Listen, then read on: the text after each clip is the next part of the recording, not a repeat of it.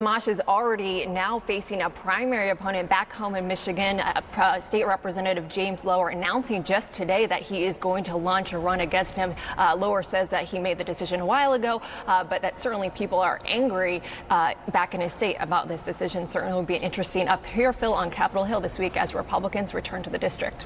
Yeah, they'll be back in a couple of hours. I'm sure they'll be getting a lot of questions about this from Sunlen Serfaty. Sunlen on the Hill, thank you very much. Now, so far, Congressman Justin Amash is standing alone among Republicans, but one of the big questions is will he persuade others to agree with his conclusion that President Trump was involved in impeachable conduct? CNN political commentator Charlie Dent is a former Republican congressman from Pennsylvania, was a frequent critic of President Trump. He joins us now from Philadelphia. And, Congressman, I guess you know this conference better than anyone. Uh, uh given the fact you were in it just a short while ago. What's your sense in terms of what this means for the broader conference, the broader Republicans on Capitol Hill right now? Uh, well, Phil, I'd say this. Uh, look, this this is psychologically, Amash's comments are psychologically damaging uh, to Republicans and to the president. I don't think this really changes the narrative, though, uh, that uh, uh, that other Republicans are going to jump on board. This is a, a crack in the windshield probably not going, going, to spread. But I have to tell you, Phil, I was chuckling a bit uh, in, in your lead up here. Hearing people say that Justin Amash is not a conservative, you know, he's very libertarian. Uh, I don't think he did this for political gain. It's not helping him politically in his district. Uh, he's had problems with establishment Republicans, now with Trump Republicans, so he's taking quite a, a political risk by doing this. Uh, and I think that most Republicans, and, and, I suspect the Democrats, don't see a lot of advantage in impeachment uh, right now. They, the Democrats would rather beat Trump at the uh, ballot box, lit litigate this in the 2020 election, and that impeachment might actually harm their electoral chances uh, politically. So I think that's why everybody's dancing around impeachment. Yeah, and that actually it brings up a good a good point you made about Justin Amash, and, and a lot of people maybe outside of Washington aren't super familiar with Justin Amash. Maybe you can check his Facebook page. He writes very lengthy uh, kind of recitations as to why he votes how he votes, which often runs counter to where Republican leadership is, to where maybe veteran appropriators like one Representative Charlie Dent might be. But can you explain kind of his his place in the Republican conference? I think that would be helpful for people to understand where he's coming from here. Yeah, I've always looked at Justin Amash. He's a very sincere and earnest guy. Uh, he he's very libertarian, uh, similar to what a Ron Paul would have been in the Republican conference. I believe he's still affiliated with the Freedom Caucus.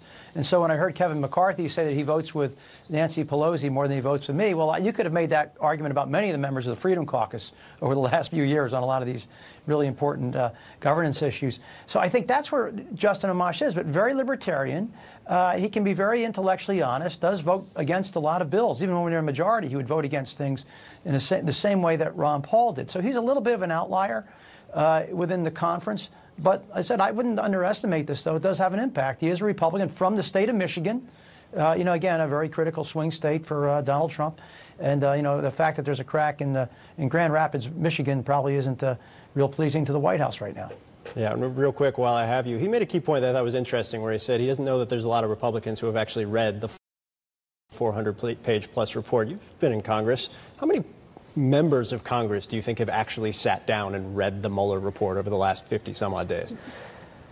Well, I think most members have read through it. Now, have they studied every word? I doubt it. But I think most of them have read through it, at least the most salient parts. You know, those two summaries, the summaries were uh, pretty, pretty uh, helpful. But I suspect most of them have read through it. I won't say that they've studied it in, in, depth like a Justin Amash did. I'm sure he went through this. And by the way, the only thing that surprised me about Justin Amash is the timing of this. I was a little surprised, like, why now? Uh, you know, why didn't he do this closer to the time that the report was released? Why did he wait so long?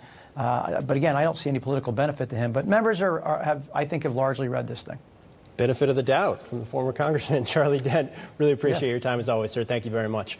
All right, not only Thanks, is Congressman Justin Amash facing backlash in Congress, he's also, as Sunlen noted, facing a primary opponent. Republican State Representative Jim Lower announced this morning he will challenge Amash. He says he's undec- or he said he decided to move up his announcement because of that tweet threat. Take a listen. Well, like a lot of people, I was I was pretty angered by the tweets, um, but more immediately, right right after that, I, I decided that you know the campaign that we had been planning to announce in July that you know it'd be a good idea to move that up uh, in terms of the announcement, and that's what we've done. Is I'm sure you know today we're announcing that I'm going to challenge Congressman Amash in the Republican primary this fall or next fall rather. CNN political analyst Julie Hirschfeld Davis is here. She's a congressional correspondent for the New York Times. We also have our great chief political correspondent, analyst, uh, Gloria Borger. So, Gloria, I, I, want to start with that because Justin Amash has been challenged before sure. from Republican business interests. I believe it was back in 2014. They tried to unseat him, failed fairly miserably. How, how